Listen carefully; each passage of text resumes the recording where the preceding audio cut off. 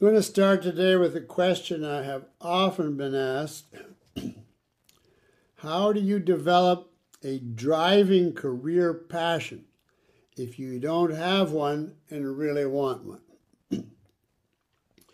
I'm often asked that because people admire Howard Roark and they want to be like him in that regard. They sincerely do. They, they, they admire that kind of life and they can't find that kind of career passion in themselves.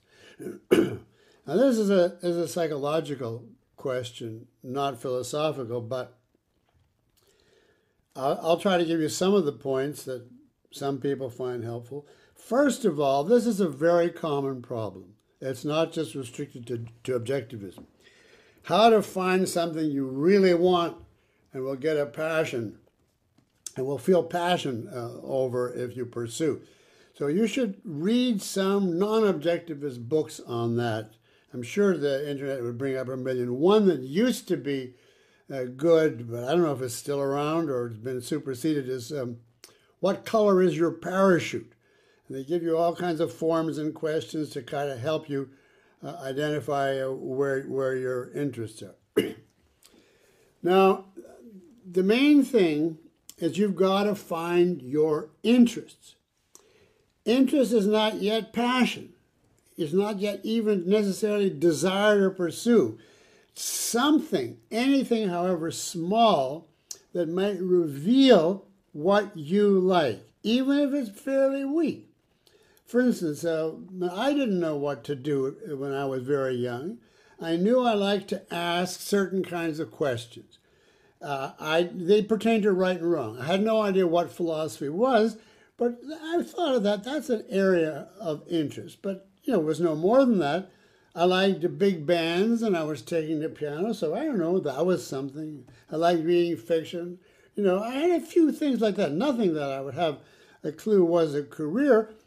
Look back to your childhood, your teenage years, and try to pick out anything that you were interested interested in doing, interested in watching, whatever, just to find some uh, uh some uh, spark to uh, to go on. By the same token, look for things that you hated or are bored with. List them, so you know that those are no good, and you'll stay out of them. For instance, I, I took a test when I was young. Uh, all the kids in class had to take a, a vocational interest, and I got zero on mechanical interest and not much more on anything else pertaining to, you know, the physical uh, world. And so uh, I knew anyway, but that set the seal that I stay away from anything uh, of that kind. If you can eliminate, you're in one whole area somewhere as opposed to another whole uh,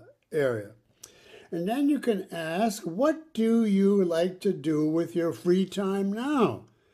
And then whatever comes uh, to mind, even if you say, I like to go on vacation, what kind of vacation? What interests you about uh, that vacation? What do you most enjoy doing on that? You try to specify just to get little green lights.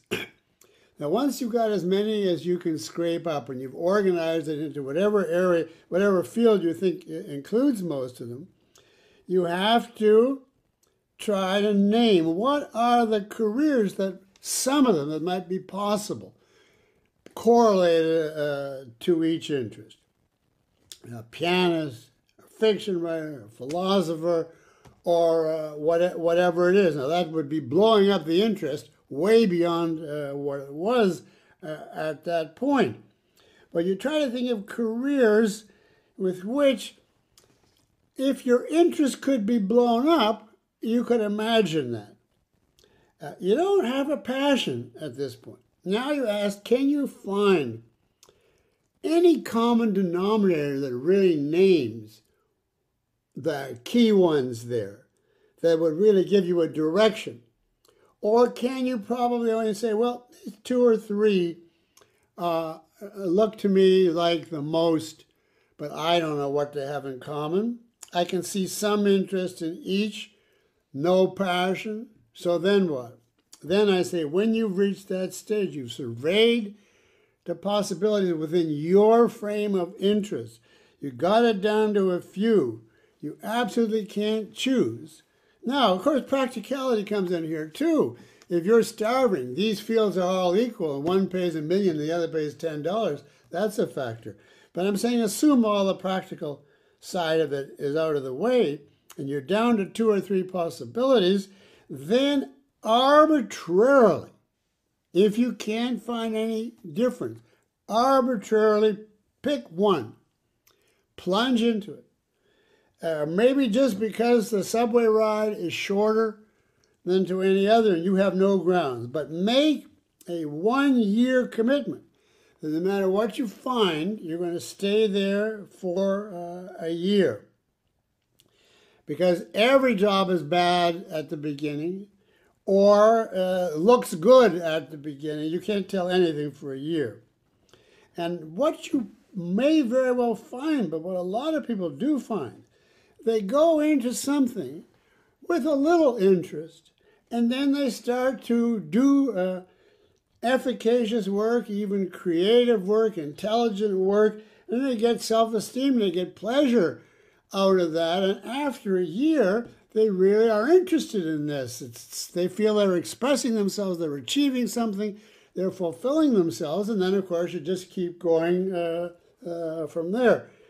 That's a happy ending of this process. If it doesn't happen, try it on another. If it doesn't, then I have nothing to say. In fact, I should have nothing to say anyway because this is not philosophy, but maybe uh, you'll find the most important thing I think in everything I said is try to find tiny interests if you can't find big ones and build from there. Don't expect that you're going to introspect, you know, oh, I just love that. It's not like falling in love in a Hollywood movie, you know, where the bells ring. You start with whatever you've got, and then you try to pursue uh, from there. But you must make a commitment to stay with it once you've chosen it, uh, no matter how bad it is, because you can't tell anything short of a year. I hope that helps. It's an impossible question to answer. I know, an impossible question for you to, to answer.